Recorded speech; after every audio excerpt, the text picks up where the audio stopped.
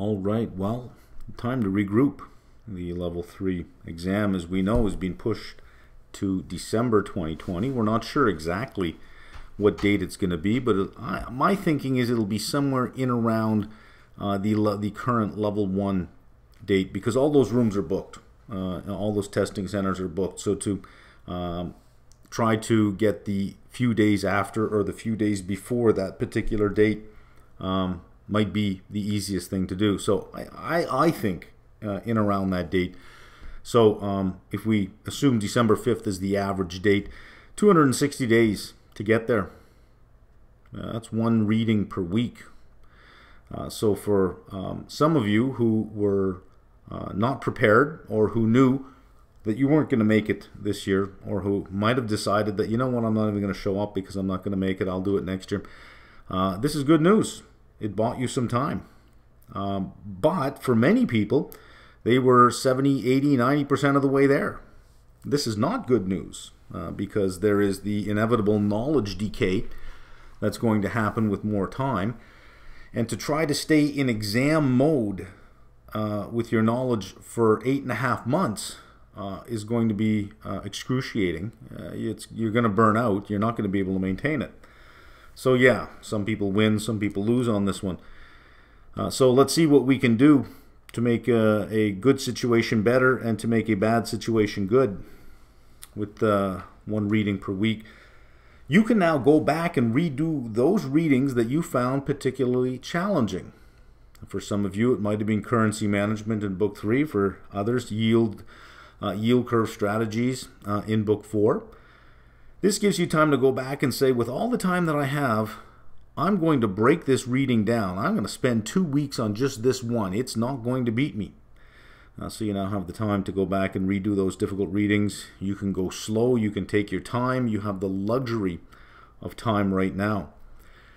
For those that were ready, uh, this is a, a, bit of a problem. So let's see what strategy we can come up with. Let's uh, just put a timeline out and let's say that this is when you start studying. This was the June exam typically when we start with new uh, content, it doesn't come together in our minds very easily. So the learning curve is, is pretty flat at that point in time. Then it really accelerates as things come together.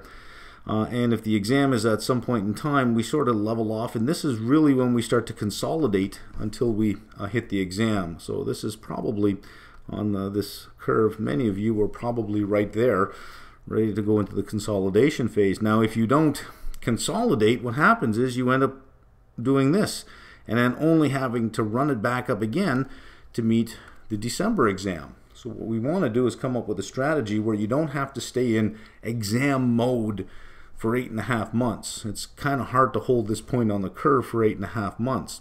Uh, what we'd like to do is, we know there's going to be some knowledge decay, but we'd like it to be, you know, a little bit lower so that uh, when we ramp up, it's not so bad. So use those review videos often. Cycle through them. Yeah, it's okay, I think, to put level 3 on the shelf for the next 60 days, next 90 days, next 2 3 months. Enjoy your life. Have a good time. While you're enjoying your life, I strongly recommend that you listen to Bloomberg in the morning because in the morning they have portfolio managers on, analysts, asset managers, and they're all talking level 3 content. When you listen to them, it's all about asset management. It's all about positioning for expectations. Listen to them. Listen to the fixed income guys. What what what are they paying attention to? Can you relate that to something in the reading? How are they positioning their portfolio? Listen to the equity guys. What are they doing? Uh, and see if you can pull those real world uh, applications out of what they're saying and say, well, that ties back to this, that ties back to that. It, when they're telling their story, uh, you remember stories better than you remember lists of facts. Uh, so sometimes it's better to to complete your learning, complete your training by listening to that because that's real world stuff. So for the next uh, 60 or 90 days, if you want to put it on the shelf, I'm not going to browbeat you over that. Uh, absolutely, uh, you've already put in the time. You're you're somewhere up here. Um, trying to maintain that for eight and a half months, you're just going to burn out. So you may as well put it aside. Uh, use Bloomberg in the morning and maybe once a week, set aside two, three hours once a week just to cycle through the review videos, just to hear it, to say, okay, yeah, I'm, I'm up on that. I still remember that so that you don't forget it. So hopefully you don't dip too far uh, down on the curve that you uh, sort of keep it elevated so this knowledge is consolidating using Bloomberg in the reviews so that your uh, home run stretch when you get into uh, October, November is pretty much where you are right now, or hopefully uh, with uh, more consolidated knowledge going into it. so there we go. Mock exams. We're going to delay the launch of these till September 1st. It's far too early to be doing mock exams at this point. You really want to do these before the exam. Uh, so this gives me uh, sort of two opportunities here. Opportunity number one is there were uh, some questions at level one, the AM. I think I have somewhere between 45 and 50 questions spread over four exams. There were less than 10, about half a dozen or so that were carryovers from last year that I repaired, uh, but that I still didn't like. You know, as I read them, I thought, you know, I can I can do better. Just you know, you don't really have the time uh, if you're trying to meet a June exam. I now have the time, so I'm going to upgrade those. Not only that, I'm going to go over each question and I'm going to make them just a bit harder.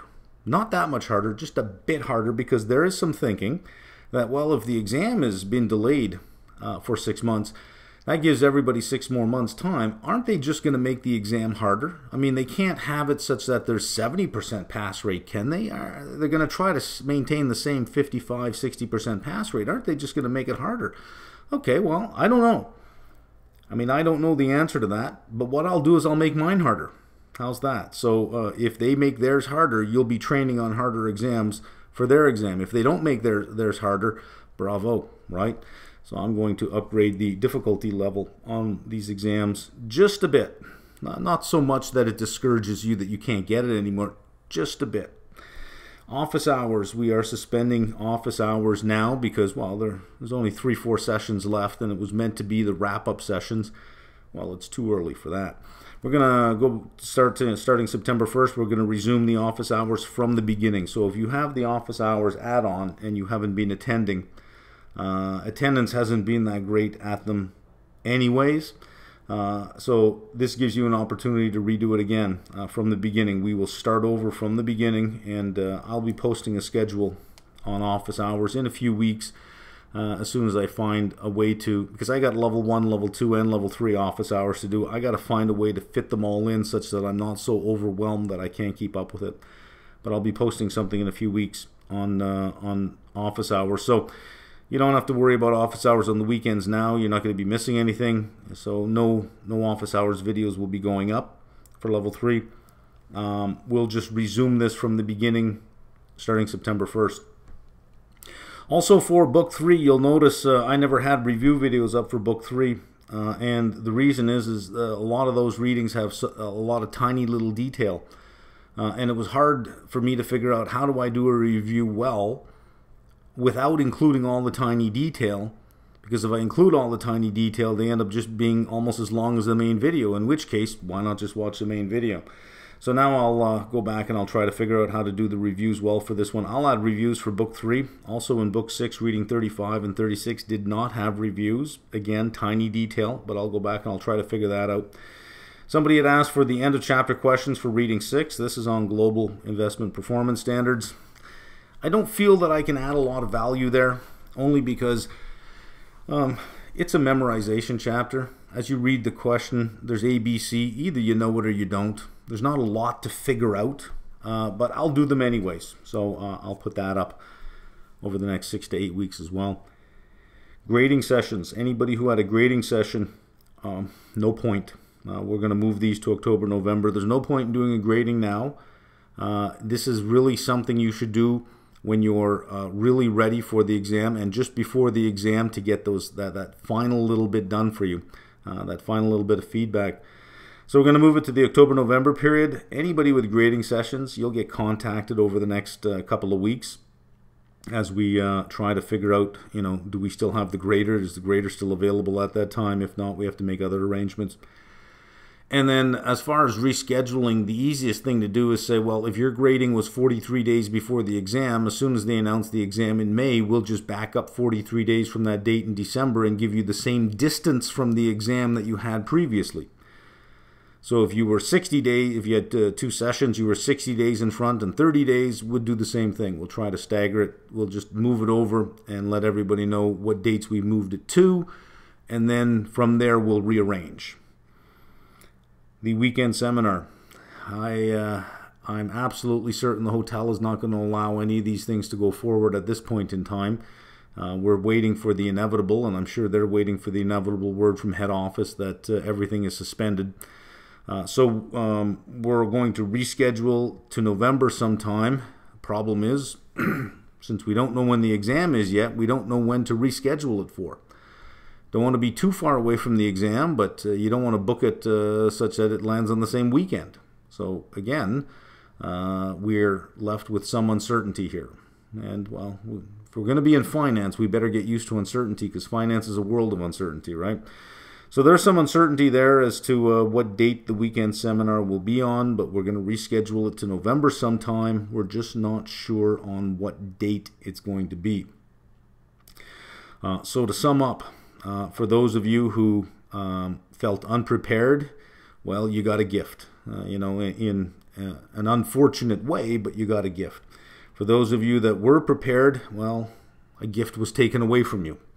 Uh, so that uh, you know now you run the risk of uh, you know some knowledge decay over the summer and then having to put in the same amount of hours just to ramp back up again but if you use those review videos and you use them often and you tune into bloomberg in the mornings um, i think you should be able to maintain if not uh, refine the knowledge that you have and as far as you know the dedication to uh, you know listening to bloomberg in the morning uh, in this profession, if you're going to be in the markets, you need to be in the markets. It must become a lifestyle. Uh, it, it, it has to consume you. Uh, every minute of the day, you have to want to know more and more about what's going on in the world. How are other people thinking about this? and not because you want to follow them it's because it gives you ideas sometimes. You, you somebody will say something you think i never quite saw it that way. That's interesting. And it might combine with something you know and open up another thought or another idea or highlight something.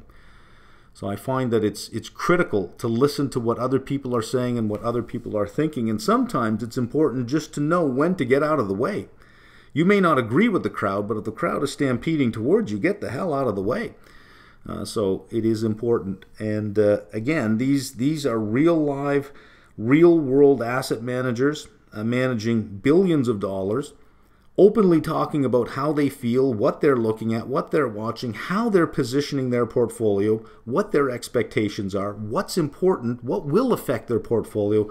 That's all level three. All of that. That's beautiful. That's applied. That's as applied as you're going to get. So use that free resource. Uh, I think the first two hours of Bloomberg are on uh, uh, YouTube every morning. Uh, so it's free access on, on YouTube. Uh, I think it's called Market Surveillance. It's full access on YouTube for that. So use that.